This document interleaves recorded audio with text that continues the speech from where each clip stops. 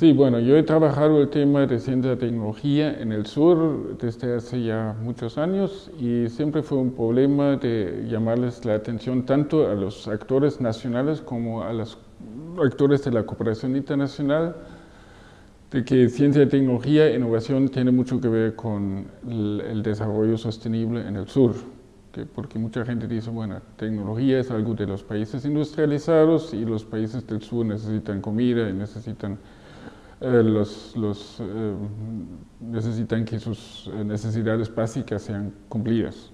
Pero yo creo que sí, ciencia y tecnología es muy importante para el desarrollo, sostenible y en ese sentido, muchos países del sur sí tienen que hacer más esfuerzos porque hay un, indicador que mide el esfuerzo de una sociedad en ciencia y tecnología como porcentaje del Producto Interno Bruto. Y este indicador en Latinoamérica anda por menos del 1%, con la excepción de Brasil de 1.2%.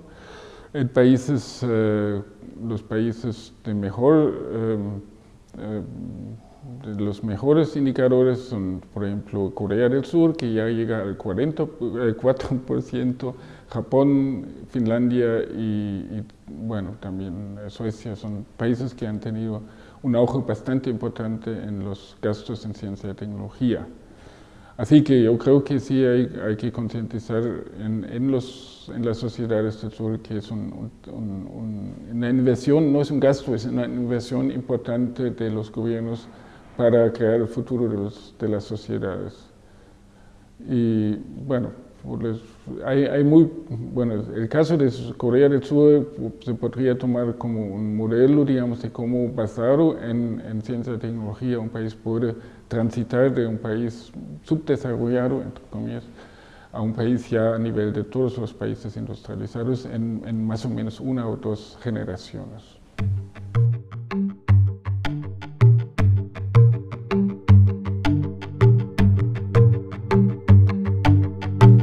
Um, sí, retos y, oportunidades. Yo quiero en primer lugar enfatizar que yo veo un reto importante para todas las sociedades del sur o la sociedad global en común, que son los, los retos de medio ambiente, cambio climático, pero no solamente cambio climático. Vivimos una crisis ecológica bastante aguda y hay que atenderlo con ciencia, tecnología e innovación. También hay que atenderlo con cambios en los patronos de consumo, pero ciencia, tecnología e innovación tiene que jugar un papel importante. Um, para poner un ejemplo, digamos, uh, el cambio climático, que es el tema número uno en este momento, afecta a prácticamente todos los países, pero lo afecta en forma diferente. Por ejemplo, afecta diferente a Ecuador como a El Salvador, por las razones, bueno, por los ecosistemas que, que, valen, que son los dominantes en estos países. Entonces necesitan capacidades científicas en estos países para analizar concretamente cuáles son los retos del futuro y después llegar a identificar, identificar posibles soluciones, digamos, de cómo, cómo adaptarse a estos cambios climáticos. Y eso requiere ciencia y tecnología en, en los países, no en el norte, que, que, tradicionalmente se ha hecho mucho eso, que científicos del norte llegaron a El Salvador, Ecuador, analizar los eh, eh, problemas medioambientales y diseñar las soluciones. Yo creo que ese tiene que venir de los propios países aquí en Latinoamérica o en África o en Asia.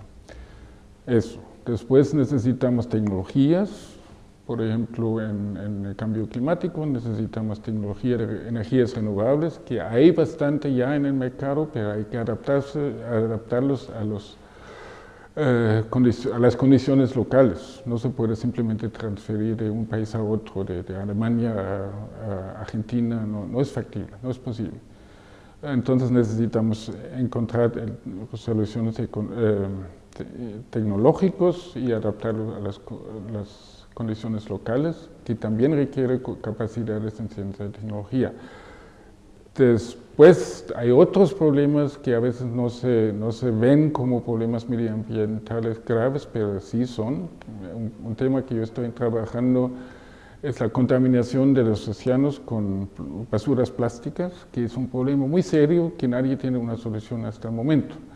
hay un estimado de que los, los océanos del, mundo acumulan ya un 80 millones de toneladas de basuras plásticas. Y cada año vienen miles y miles de toneladas más a los mares. Y nadie sabe cómo trabajarlo. ¿Y qué pasa? Porque, bueno, no desaparece, la basura no desaparece, pero se desintegra en los mares llega a los, eh, las cadenas alimenticias de, los animales y también de los seres humanos. Entonces hay que encontrar soluciones. Ahora hay un proyecto que me fascina, que es de un, muchacho digo, de Holanda que ah, hizo unas vacaciones en, en, Grecia, en Europa, y, y dijo, bueno, yo vi más basura plástica en el mar que peces y eso no puede continuar. Y él, como muchacho del año 94, no de graduación, pero de, nacimiento, formó un proyecto que se llama Ocean Cleanup y desarrolló eh, prototipos, digamos, de cómo sacar la basura de los mares. Eh, a través de crowdfunding encontró suficiente dinero para desarrollar los prototipos.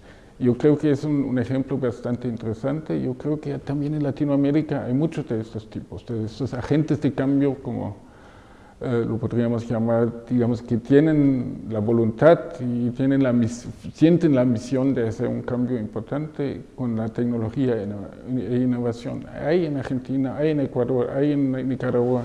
Hay que encontrar a estas personas y hay que darles el apoyo, digamos, para desarrollar sus ideas. Y eso es algo que yo estoy intentando convencer a mis compañeros en el instituto y a la cooperación internacional y a los actores en los países del sur.